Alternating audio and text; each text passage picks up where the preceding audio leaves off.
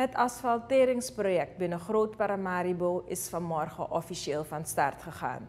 Dit project is voorbereid door Wegenautoriteit, het instituut dat wettelijk verantwoordelijk is voor het onderhoud en beheer van primaire wegen in ons land. Momenteel is het wegennet in Suriname baar slecht. Directeur Shuna Devi Golparai van de Wegenautoriteit geeft aan dat er een onderhoudsprogramma is opgesteld voor Paramaribo. Hierin is opgenomen dat de meest onbegaanbare wegen in de eerste fase van het asfalteringsproject aangepakt worden. De uitvoeringstermijn van deze specifiek, dit specifiek project is gesteld op vier kalendermaanden. De wegen die in de eerste fase binnen dit specifiek project zijn opgebracht zijn zoals u ziet de Lalaroekweg, de J.A. Pengelstraat, de Washingtonstraat volgt straks, Quattaweg en zoals u ook al heeft gezien, de meest slechte delen van de commissaris Wijtingweg. Ik benadruk de meest slechte delen, want u ziet ook, we hebben niet alles kunnen aanpakken vanwege een budget waaraan we ons hebben te houden op dit moment. Maar dat neemt niet weg dat in de toekomst daar ook verandering kan komen. Dat de aanpak natuurlijk wordt voortgezet betreffende de commissaris Wijtingweg. Um, deze weg is inmiddels hersteld. U heeft gezien, er zijn um, waar nodig duikers uh, geplaatst. De fundering is hersteld en er is geasfalteerd. Het doel van dit project is het geleidelijk aan inlopen van achterstallig onderhoud aan het wegennet. Er wordt hierbij voorkeur gegeven aan de meest bereden verbindingswegen tussen vooral Paramaribo Zuid en Noord. Ook de afwateringssystemen zullen aangepakt worden om verzakkingen te voorkomen. Dit asfalteringsproject heeft een duurzaam karakter.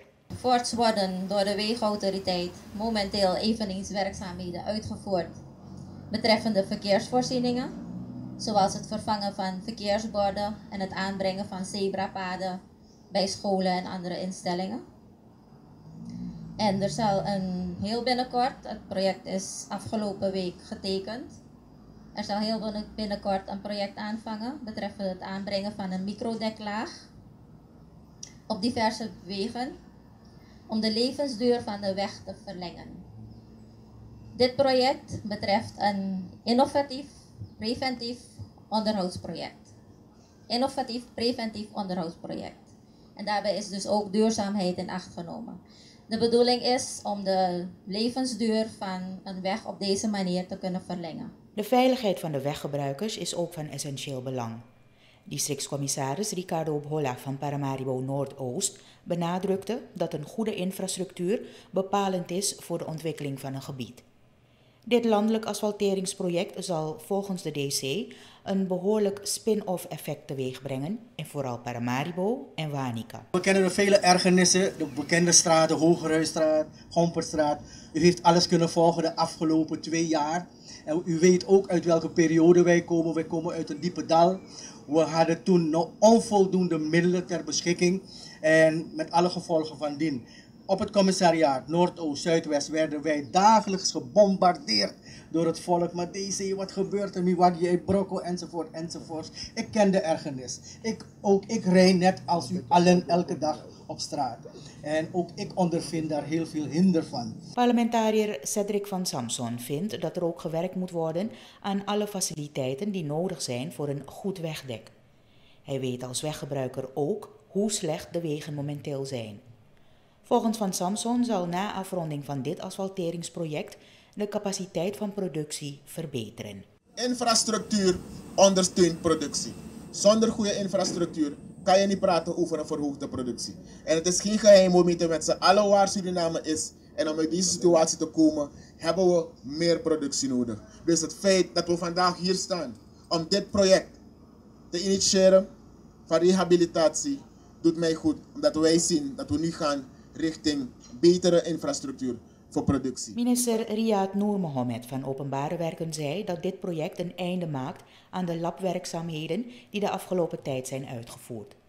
Volgens de OW-minister is er meer dan 20 jaar geen onderhoud geweest op de juiste manier.